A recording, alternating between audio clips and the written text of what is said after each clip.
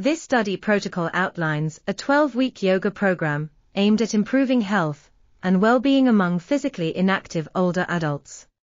The program will be compared to an aerobic exercise group and a non-active waitlist control, with assessments conducted at baseline and post-intervention. The primary outcome is subjective well-being, while secondary outcomes include physical activity, sedentary behavior, mobility of fall risk, cognition, depression, anxiety, mood, stress, pain, sleep quality, social support, and cardiometabolic risk factors.